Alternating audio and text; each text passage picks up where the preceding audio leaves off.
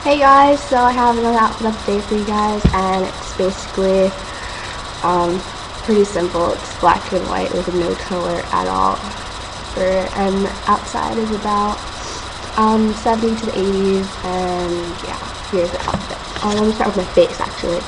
Wing liner and mascara, blusher and bronzer, you can kind of tell not so much, and like a nude pink lipstick from JK or something like that.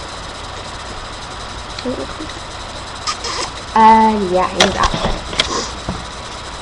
Um, the shirt is from Forever 21. It's size medium. I got it last year. Um, it has sleeves up to there, and if I open the unzip wide, it looks like square, and it's longer in the front and shorter, shorter in the front and longer in the back and it has lace detailing in the back right here. It's really pretty. And for my bottom, I'm wearing a black. And down here, it's just like a big temple here, and it has, I can tell it has detailing right here. And that's the back of it, and I'm wearing with these shoes from Charlotte Russe.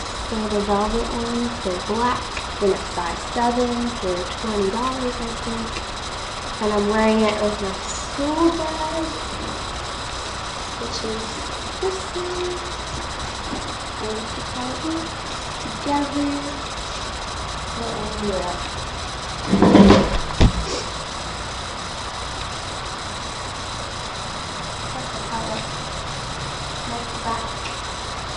Front, the side, a little I just have this clip here to do on clip my hair.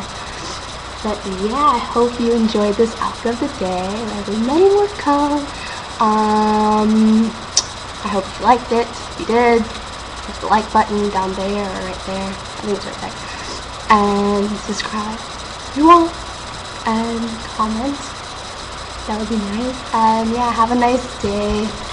Bye, you guys.